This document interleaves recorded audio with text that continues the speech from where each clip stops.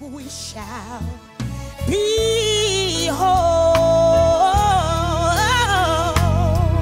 him. Yes, we shall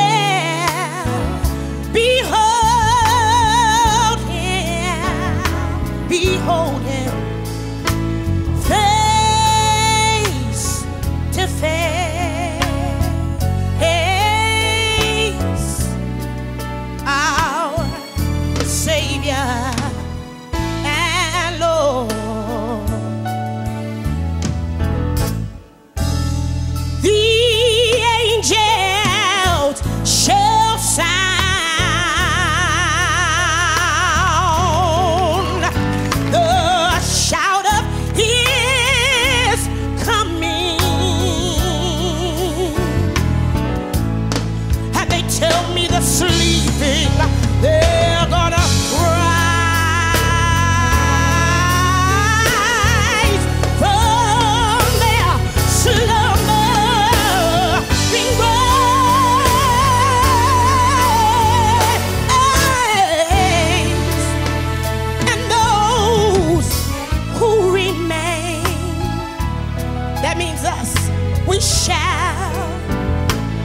be changed in one moment, one moment, one moment, and we shall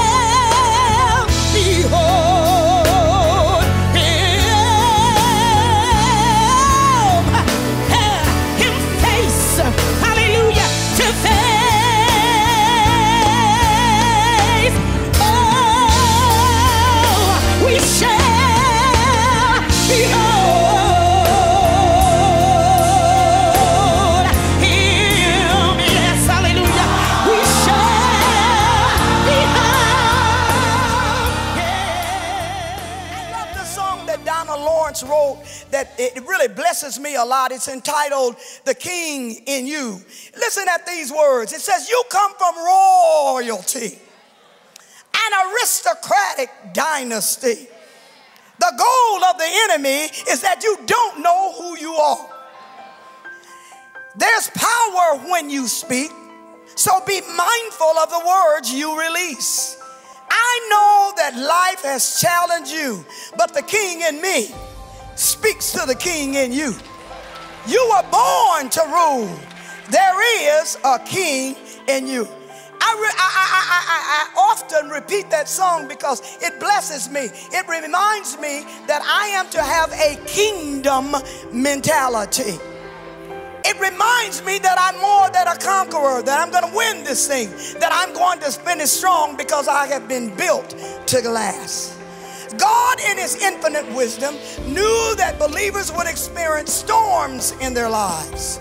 So, in the scheme of time and creation, He crafted, He used special skills, which gives us the ability to stand in the midst of adversity.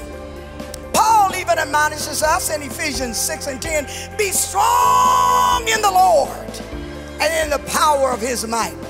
You don't have to do it alone. God will be there to help you if you will allow him. And then he says in Ephesians 6 now you are not fighting against flesh and blood, but the devil and his angels. We are not fighting against flesh and blood. We have to remind ourselves that it is not our co worker, it is not our neighbor, but it is a spirit that we are warring against, that we're fighting. The devil is a cause of high stress and anxiety.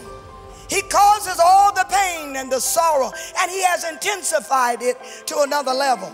And with all of this turmoil, he's putting fear in the hearts of many people. In Isaiah 41 and 10, it states that for, he said, Fear thou not. That's what he says. For I am with thee. Be not dismayed, for I am thy God. I will strengthen thee. Yea, I will help thee. Yea, I will uphold thee with the right hand of my righteousness. Psalms 27 and 14 says, Be strong and let your heart take courage. Listen, women of God, you and I are not an afterthought. We're not a fly by night. We were thought out in the council chambers of heaven. Now, I know some people think that God went to Lowe's or Home Depot, got a bag of dirt, and decided to form and create us, but the devil is a lie. The Bible says that we were thought out in the council chambers of heaven. Hallelujah. That makes me know that anything God values, I'm really somebody, and you are too, because He values us.